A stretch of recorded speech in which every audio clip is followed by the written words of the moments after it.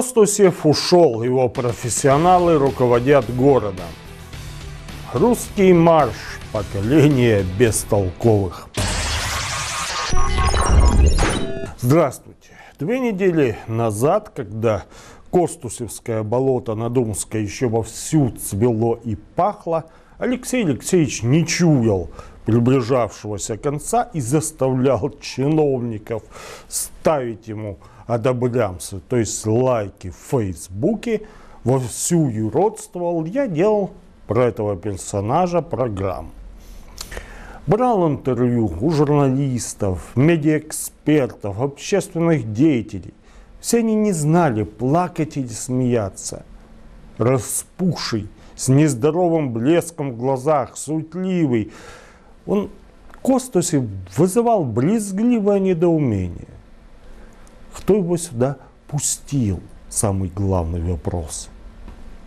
Практически всем здравым людям Петрушка запретил ход на свою страничку. Комментарии нельзя было оставить. Он играл с жирафами, лемурами, выкладывал фотографии и видео этого действия в интернет, а подневольные чинуши, пытаясь изображать восторг, визжали, какой у нас замечательный, любвеобильный, строгий и справедливый мэр. Все это напоминало иллюстрацию книги Хаджана Средин «Возмутитель спокойствия, а именно к тому фрагменту, где говорится про обязанности придворного при дворе эмира. Наипервейшая обязанность придворного состоит в каждодневном упражнении спинного хребта, дабы последний приобрел необходимую гибкость, без чего придворный не может достойным образом выразить свою преданность и свое благоговение. Спинной хребет должен обладать способностью изгибаться, а также извиваться во всех направлениях, в отличие от костеневшего хребта какого-нибудь простолюдина, который даже и поклониться не умеет как следует. Конец цитаты. Костусевские чиновники не занимались своими непосредственными обязанностями, то есть медициной, ветеранами, социальными выплатами, а сидели день-деньской в интернете, соревновались, кто про Костусева напишет предложенных им отвлеченных темах, не имеющих к благоустройству города никакого отношения, самый подобострастный комментарий. А теперь ответьте мне на другой вопрос. Почему сегодня, несмотря на жару, в воздухе чувствуется такая легкость и благоухание?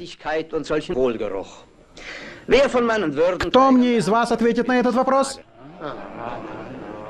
Я убежден, мудрейший из мудрых, что это твое дыхание наполнило воздух неизъяснимой свежестью. Ну, на такую азиатскую льстивость и цветастые словоизвержения наши чиновники не способны. Ну, представьте себе грузинтрестовского лифу. Он же только топором махать способен. Уже все деревья обрубил. Надо и не надо. Где уж ему лайки ставить? Но все равно стараются. Пели про народного мэра, пели, как хорошо им живется при Петрушке. Но вот все закончилось. Петрушка улетел в теплые страны лечить сердечные и седалищные раны. Пинка он получил жесткого и неожиданного. Армия чиновников замерла с разъявленными ртами. Кому петь осану, кому ставить лайки. Петрушка развратил их настолько, что кроме этого они ничего не умеют. Я хотел бы предложить вашему вниманию интервью, которое я готовил до того, как Костусев вылетел из города, до того, как он покинул в одиночестве мэрию с пожухлым взглядом. Его фотографию моментально тогда отжабили одессита, как вот он выходит из мэрии, ему пририсовали лемура, который кричит, не уходи, пожалуйста. Кстати, он, Петрушка, действительно похож на этого первого трансвестита мультипликации короля лемуров Джулиана. Ну, помните. Оп! Тусим, тусим. Глядите, я мадама. Я мадама, народ. Я мадама. А вот и нет. Это же я, король Джулиан. Ну так вот, об этом нелепом человеке его окружение взял до ухода его интервью Людмилы Ивановны Чековой Александра Эдуардовича Каменного. Я думаю, это интервью не утратило своей актуальности, хотя бы потому, что этот король лемуров ушел, но птенцы гнезда Алексея Алексеевича, чиновничья псюрня, как говорит Каменный, осталась. Я вам вот что скажу по поводу странички в Фейсбуке нашего мэра. Ни один нормальный человек на его э, страничку в Фейсбуке не ходит, и я не хожу. Во-первых, все то, о чем он там пишет, якобы он пишет, уже расцвестели все его телеканалы, э, а то, что там нет мнения одесситов, это однозначно – если кто-то задает острый вопрос или э, какой-то э, не очень приятный комментарий, он модератором уничтожается. И читать реплики его мэрских холопов, там, вот типа, ой, так держать, мэр, ой, надо же, такой занятый человек, мэр, а он везде успевает, молодец. Ну, это же идиотизм полный. Алексей Алексеевич, дарю вам бесплатно совет. Поставьте у входа в мэрию свой резиновый муляж, вход сделайте свободный, и положите рядом резиновую дубинку. Кстати, это практика цивилизованных стран. И вы посмотрите, как посыпется на вашу голову мгновенно такое количество лайков. Столько получите отзывов мало не покажется. И главное, бесплатно. Никаким троллям, лакеям и халуям платить не придется. А вообще, жаль, вот, что нет на него Петра Первого. Тот беспощадно просто ненавидел вот таких вот самовлюбленных пижонов. Он сам одевался скромно и ужасно, страшно не любил Э, вот этих э, щеголей мужского рода. Вот увидит какого-то пижона в богатом экипаже, немедленно остановится, спросит, кто таков, какой доход, если найдет, что доход не по роскоши, выбранит и матросом служить на два месяца. Вот думаю, нашему пижону, подводнику Коксу всего – любителю блях, цепей, медалек и костюмов от Бриони, трудно будет объяснить царю происхождение денег на покупку этих самых лайков в Фейсбуке, и черного Мерседеса под миллион, и дома в Стольном Граде за 12 миллионов, и куча земельных участков, телеканалов, и все это на зарплату служащего. Ей-богу служить вам, Алексей Алексеевич, при Петре пришлось бы пожизненно матросов. Александр Эдуардович, вот знаменитый Facebook Костусева, мэр Одессы. Там все люди оставляют свои пожелания, значит, еще. Но вот э, я, например, не могу туда зайти. Я туда, мне вход сразу заблокировали. И а, те, кто остался, те, кому позволяют к телу припасть, те, ну, ну это просто стыдно не на них смотреть, на этих людей. Они, ну, ну это не просто целуют в диафрагму. Я думаю, что ответ очевиден. Ответ очевиден. Во-первых, вы не волнуетесь по поводу интернета. Обратите внимание, вот у них форумы. Сколько человек на этом форуме? Ну, 200, 300. Ну, не 20 тысяч, не 30 тысяч особой роли не играют. Другой момент. Вот вам не дают возможности там поучаствовать, высказать свое мнение. Вас блокируют на Петрушкином там, сайте. Так вы радуйтесь. Это свидетельство того, что вы говорите правду. А то, что они там сидят, кликают, то это люди, которые зарабатывают деньги. Мы же знаем, что во все коммунальные предприятия Петрушка разослал бумажку, где сказано, чтобы все там говорили, что я хороший, лучший мэр в мире. Завтра придет другая власть и скажут им, соберут их и скажут, значит так, внимательно слушайте. Будете кликать, Петрушка идиот. Вы поняли? И они с таким же азартом, с такой же радостью это все будут делать. Вы же поймите, понимаете, интернет это ну, э, радость для анонимщика. Вот он сидит, вот вонючий, грязный, трусливый, а здесь он этот такой, этот такой. Их раньше дворники ловили, потому что они писали в туалете на стенах и на заборах. Дворники били метлой. А сейчас никто, все, можно даже чашечку кофе, сигаретку и себе... Да вот, Дмитрий, даже по этому поводу и не заморачивайтесь. Это очень хорошо, что вас туда не пускают. Это говорит о том, что вы на правильном пути. Вот митинг на Думской последний раз был, так называемый митинг, потому что пришли люди, не знаю, кто и что это за люди, ну понятно, это подневольные. Но вот как они там стояли, вот я смотрел на их лица, вот удивляюсь я, как им не стыдно. Ведь э, ходят журналисты, спрашивают, вы за кого, вы чего тут? Он даже фамилию эту Костусев произнести не может потому что он не знает. И стоят. И студенты стоят, не только необразованные дворники, студенты. Вы понимаете, в чем дело? Есть такой юридический термин невменяемость. Мы могли бы упростить. Вот собрались люди, которые невменяемость, это не осознает смысл своих действий и не может руководить ими. Вот это такой термин. Сказать, что это невменяемые, я не могу, это было бы просто. Но когда я смотрю на это все, я думаю вот что. Раньше крепостных – пароли на конюшне. А сегодня их сейчас гонят на митинги. То есть, во-первых, не больно. Это же не на конюшне шампалами. А во-вторых, понимаете, ну это как-то наполняет их жизнь определенным смыслом. И мы нужны и понадобились. Почему я это говорю? Крепостные. А что им сделать? Что им делать? Не пойдешь, выгонят с работы. Ну, дворников гонят там и коммунальщиков. Не пойдешь, выгонят, лишат премии. Люди боятся. Люди боятся. Потому что они знают, что эта власть беспощадная. Ползать рожденные, ПР сокращенно, это беспощадные, беспринципные люди. И эти все знают.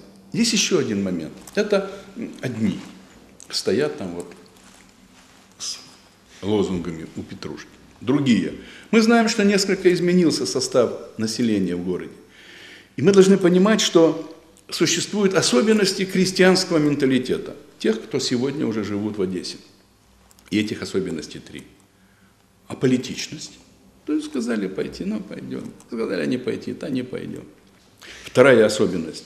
Вера в доброго царя.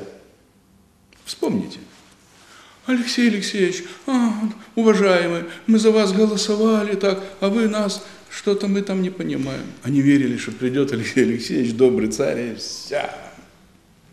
И третья особенность – это какая-то такая постоянная боязнь серьезных перемен. Ой, ну уже все, ну уже да что уже там, ну уже стерпится, слюбится. Вот и все. Надо понимать, что огромное количество населения именно такое.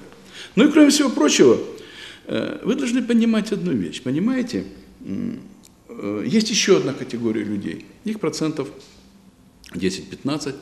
Сейчас э, появилось новое понятие. Оно не обидное. Это научное понятие в социологии. Есть такое понятие – социальный идиот. Ну, это, пусть на меня никто не обижается. Это люди, которые вообще не понимают, что происходит. Вот им с каждым годом все хуже, хуже, хуже. Они все голосуют за тех, за тех, за тех. Или кто-то придет и скажет, знаете что, я каждый день вам буду давать по полкило сосисок. Побегут голосовать. Социальные идиоты. И эти стоят. Вот стоят вот подневольные, стоят те, которым, да, и социальные, и студенты. Вы говорите о студентах. А им что? А им в радость Во-первых, в этот день мы не учимся. Хоть свежим воздухом подышим. А во-вторых, масса-то основная студентов идет же не за знаниями, как я уже говорил однажды, а за корочками. Причем, понимаете, вот я смотрю юридические вузы. Ты же ничего не знаешь. А у меня папа прокурор. Главное не знание, главное место потом. Или я разговаривал с девчушкой одной, она в мединституте. Спросил я, что такое кефир? Тоже там биологию, биохимию. Вот, что такое кефир? Она меня смотрела, не понимает. Я говорю, а ты кем будешь, когда выйдешь? Она говорит, а мне папа сказал, аптеку купит. Вот и все. Вот они и стоят. И если завтра их выгонят с занятий и скажут, знаете что, э, сейчас пойдете к Думской, там Гурвиц приехал, значит, стоять с плакатами «Да здравствует Гурвиц». Они с таким же настроением придут, будут стоять с плакатами «Да здравствует Гурвиц». Вот и все. Надо понимать, Дмитрий, это все настолько несерьезно, это все настолько смешно. Ну, все уже это понимают. И в Киеве понимают, и в Одессе понимают, и, и в Москве понимают, что уже на него не ставят, и в Италии понимают, где он гражданство получал. Все все понимают. И в итоге до всех должно дойти, что нынешняя власть держится не на верных, она держится на услужливых. И чем больше этих услужливых будет, тем дольше продержится эта власть. Поэтому люди должны немножко как бы включить, молодые люди, э, вот поколение 30-летних, 40-летних. Не надо вот этим бабушкам и дедушкам давать возможность, я извиняюсь, извиняюсь. Э, я извиняюсь, я на съемке перезвоню минут через 10. Спасибо, спасибо. Э, не надо давать возможность этим уже не совсем вменяемым бабушкам и дедушкам, не всем, конечно, а тем, у кого злость э, накапливалась десятилетиями. Не надо им давать возможности судьбу вершить детей своих, внуков. Сами придите, сами придите, решите свою судьбу дальнейшую. Не будьте инертными. Еще раз говорю, чем будет меньше услужливых, тем быстрее уйдет эта власть. Власть порочная и антинародная. Ну, я думаю, я ответил. Помню, школьные годы проводили у нас экстренные уроки политинформации. Особенно, если что-то важное происходило. Так вот, один раз, помню, всполошились все. Комсорг прибегает, явка обязательно. Про фашистов пойдет речь. И не о тех, кто в касках, закатанными рукавами, мамка, млеко, сало, а современных в нашей стране. Что за фашисты? У нас не может такого быть. Ну вот начался урок, и нам зачитывают из газеты «Комсомольская правда» статью «Двойники». О ребятах-школьниках, которые слушали австралийскую группу ACDC. И на смерть вокалиста, в ACDC умер вокалист, выложили на асфальте из свечек название этой группы. И CDC в переводе э, переменно постоянный ток. И в названии посередине изображена молния. Ребята выложили на асфальте молнию. И все. На всю страну прогремели. В каждой школе их жестоко осуждали. Исключили, конечно же, из комсомола. Родителей по партийной линии протащили, а то и исключили, и с работы выгнали. Как же? Дети фашисты. В общем, жизнь ребятам поломали из-за рок-группы. То был 1982 год. Я чего вспомнил? Русский марш 2013 как он обсуждался молодежью в интернете, как на него идти, с какими символами. Вот что пишут ВКонтакте его организаторы. Я хотел говорить организаторов на белогвардейскую символику с волками, мечами, вообще злыми вещами, но они хотели Власова. Хоть русский корпус на блокад дали нарисовать. И еще – его дело тоже вносит свою лепту в возрождение русской нации. Конец цитаты. Это генерал Власов, взятый в плен, впоследствии воевавший на стороне Гитлера. Предатель. С его атрибутикой идет молодежь на этот марш с гитлеровской. И не УПА, не свобода. Русские. Сейчас можно.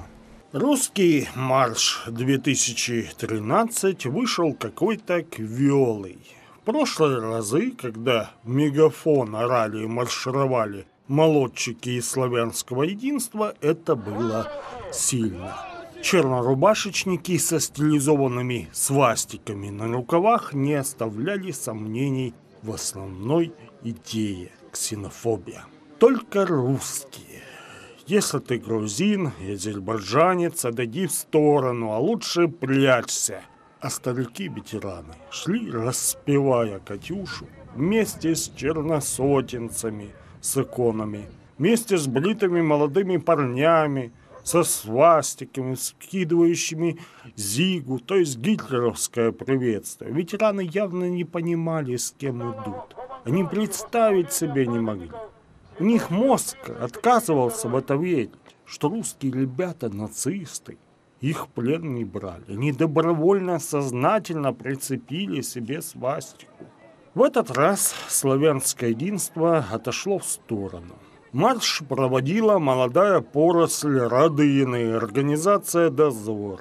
В этот раз надо было не напугать торговцев шарумичных, а показать, какое огромное количество людей добровольно вышло поддержать Маркова. Не вышло. Давайте посмотрим. Бабушка хромая бежит с иконой. Тут развернули полотнище с портретом Пушкина. А тут с маек топорщица молодецкая харя Марадонны. Тут иконы, тут снова Марков, мусорный король, измолотивший тестя, когда отбирал тот самый мусорный бизнес. Если бы силой небесной видели это зрелище, то отвратили лицо свое. Женщина в майке, Боже царя храни, натрыбается, поет священную войну. Организатор что-то кричит в мегафон, и толпа медленно ползет вперед. Сегодня от имени православия говорят и действуют люди по преимуществу лукавые, убогие и агрессивные. Это проблема православных, и это их задача. Попытаться сделать так, чтобы православная вера перестала ассоциироваться с лукавством, убожеством и агрессией. Это действие ему явно не на пользу. Мы привыкли, придышались в этой националистической казарме. И хотя прилет угарным газом мы не замечаем. И тут появляется в этой толпе разумные лица. Чего они здесь? Как они оказались здесь, среди уродливой этой массы? Интеллигенция, придя домой, начинает рассуждать, что эти фашистующие молокососы там в пупок всем дышат. И вообще не случайно затесались. Я тоже в программе «Сеющий ветер» говорил, что нам думается, что большинство ребят, сегодня так лихо рассказывающих о своих нацистских убеждениях, по сути, нацистами, фашистами отнюдь не являются. Мало кто из них реально готов перешагнуть черту, начать не драться по правилам с футбольными фанатами, а накидываться стаей на стариков или детей не той национальности. У большинства из них слова расходятся с делом, это хорошо. И думается, со временем они эволюционируют, поумнеют. Я искренне надеюсь, что поумнеют.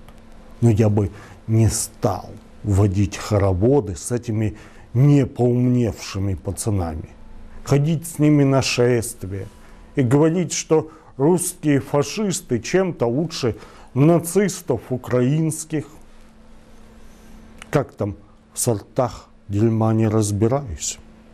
Если вам кажется, что бабки с иконами Сталина и зигующие бритые пацаны в меньшинстве, то вы ошибаетесь. Присмотритесь, и окажется неприятная вещь. В меньшинстве как раз вы. И ваши лица нормальных людей растворяются в толпе неадекватов. Трое ребят загородились лозунгом «Свободу Маркову». Я могу ошибаться, но, судя по всему, это выходцы с Кавказа, что противоречит идее русского марша. Видно, ребят наняли. Кто? Вань, что ты лицо спрятал? Гена. Почему вы за Вася. свободу? Почему вы за свободу Игоря Маркова? Потому что, Почему? А вы знаете, кто такой Игорь Марков? конечно, знаем. вам денег заплатили? Нет. Народный депутат. А что он сделал для вас? Почему вы за его свободу? Ну, Потому что... Почему? Потому что. Без комментариев, девушка. Это люди левые. Дезор не оправдал возложенных на него задач, отчасти из-за того, что предводители родины в бегах. Но несчастные люди собираются вместе и идут на русский марш. Там они будут подбадривать друг друга нелепыми лозунгами. А дефицит осмысленности восполнять веселой агрессией, залихвастской злобой, демонстрацией собственной решительности. Собравшись вместе, они чувствуют себя силой, потому что понимают, что каждый из них по отдельности никто. Фашистская идея, что не говори, привлекательна для тех, кто лишен не только каких-либо талантов, но вообще всяких способностей. Не случайно среди националистов вообще, участников русских маршей в частности, так много школьников, ПТУшников, я думаю, главным образом двоечников. Большинство из них со временем поумнеют, найдут себе дело, обрастут семейными заботами, перестанут участвовать в русских маршах. А их место в рядах националистов займет новое поколение бестолковых.